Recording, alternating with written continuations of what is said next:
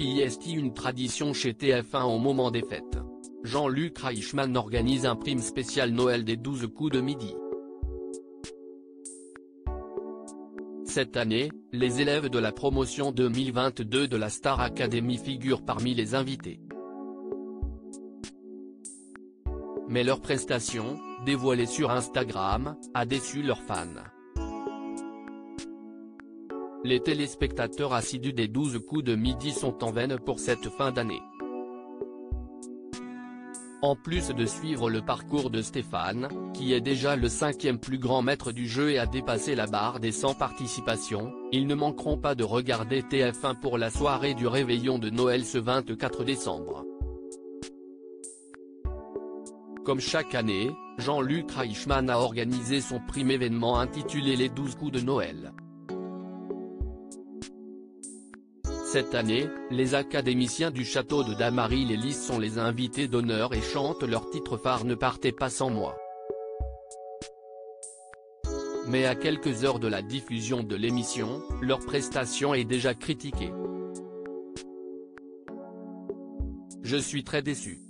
Ce vendredi 23 décembre, le compte Instagram officiel de la Star Academy a posté une vidéo où l'on peut voir les élèves chanter leur tube sur le plateau des 12 coups de Noël.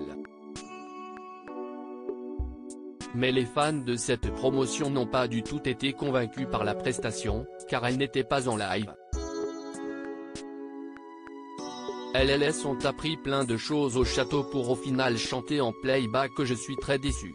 Si tu es chanteur, t'es censé montrer que tu n'as pas besoin de playback, tellement dommage de leur infliger le playback alors que sur les primes ils chantaient en direct, non je rêve même Léa chante en playback alors qu'habituellement elle chante en vrai, je suis tellement déçu, je l'aime bien mais là ils abusent même Enola elle a une voix incroyable elle fait du playback bravo très déçu vraiment, peut-on lire dans les commentaires?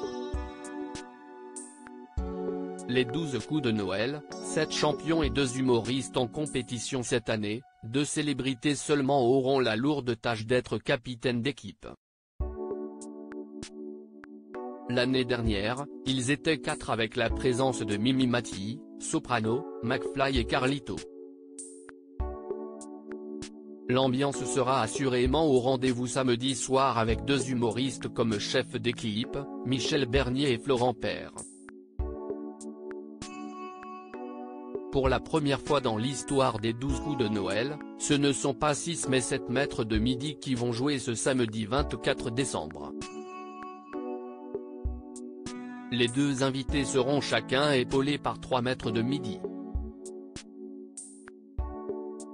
Stéphane, le maître de midi actuel, Blandine, l'hôtesse de l'air aux 30 victoires et Bruno, le recordman avec 251 victoires, seront dans l'équipe de Michel Bernier. Florent Père sera lui épaulé par Timothée, 8ème avec 82 victoires, Sylvie qui a fait quelques participations cette année, et par Eric, deuxième du classement avec 198 victoires. Un maître de midi aura un rôle à part.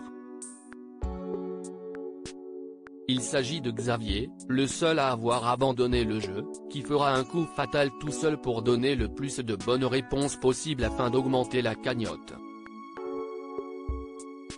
À lire aussi les 12 coups de Noël 2022, qui sont les invités et les maîtres de midi en compétition